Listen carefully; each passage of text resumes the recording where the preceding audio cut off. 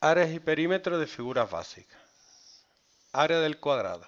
El cuadrado es una figura que tiene los cuatro lados iguales, formando ángulo de 90 grados. Un cuadrilátero de lados iguales que forman cada uno 90 grados.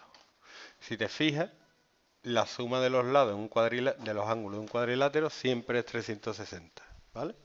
Una vuelta entera. El perímetro es, si el lado le llamamos L, la suma de los lados, L más L más L más L, 4L. Y el área es el lado al cuadrado, ¿vale? ¿Te acuerdas, no? Sí, sí, Vale. El rectángulo. El rectángulo es una figura que tiene los lados paralelos 2 a 2 formando 90 grados, ¿vale?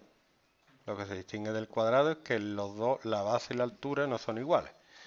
Entonces el perímetro es, si esto lo llamamos base y esto altura, sería dos veces la base más dos veces la altura.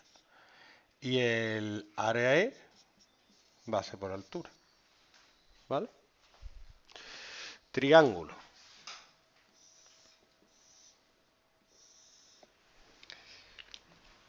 Esto es un triángulo. Podemos describir su altura y su base. ¿Vale?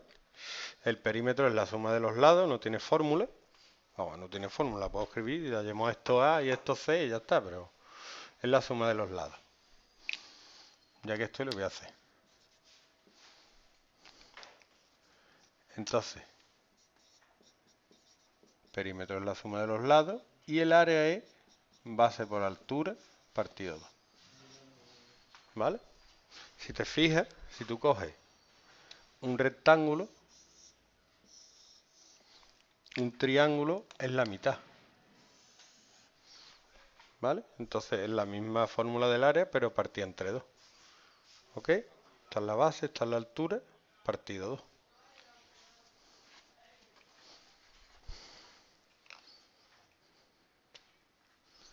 Paralelogramo. Un paralelogramo es como un rectángulo pero tumbado. ¿Vale?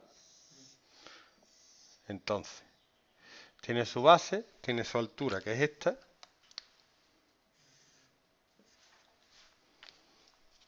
El perímetro es la suma de los lados. Si a este lado le llamamos, por ejemplo, C, sería 2B más 2C. Y el área es la misma que la de rectángulo base por altura. Porque si cogiera el paralelogramo y lo pusiera recto, al final la altura sería esta. ¿Vale? Las fórmulas son iguales. Sí. Tú no has visto nunca una cosa así que se dobla.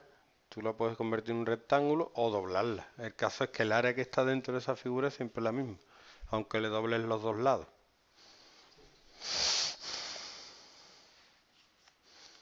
Rombo. ¿Qué es un rombo? un rombo... No. Es parecido porque tiene los cuatro lados son iguales. ¿Vale? Pero está como aplastado. Es como si cogiera un cuadrado, lo curvara. De hecho, un cuadrado es un rombo. ¿Vale? Si lo colocas así, un cuadrado es un rombo. ¿Mm? Entonces el perímetro es la suma de los lados, que sería cuatro lados iguales, y el área es diagonal mayor por diagonal menor partido 2. Donde las diagonales son estos.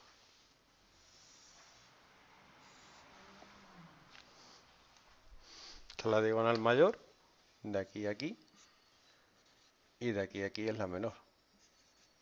¿Vale?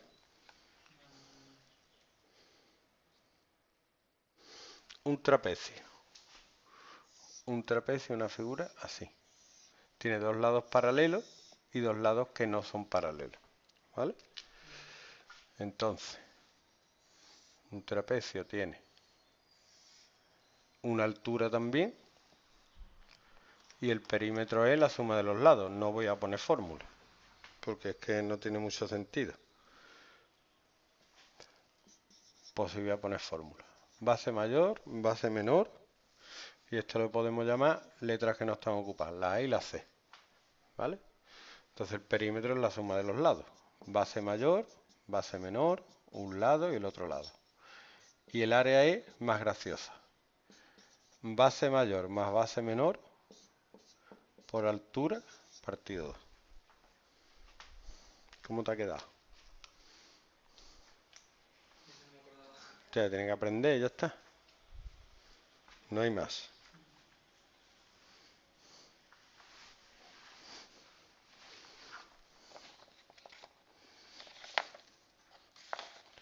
Y luego está el círculo, que te lo pueden pedir.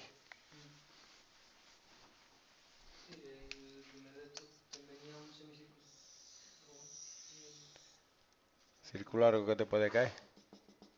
Teniendo un radio R, la longitud del círculo es 2 pi r y el área del círculo es pi r cuadrado. Y tú, que si te vas a dar cuenta, eso te lo, se lo explico a los niños y no se dan cuenta pero a ti te lo puedo explicar. Si hago la derivada del área con respecto a r, me queda 2πr, que es la longitud. ¿Cómo te ha quedado? Frío. Es la derivada. Tú dices, la repera. Y luego aquí hay más fórmulas, pero que a ti no, no te van a caer. Estas son las que tienes que saber.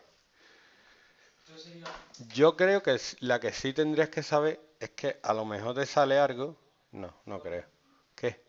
No, yo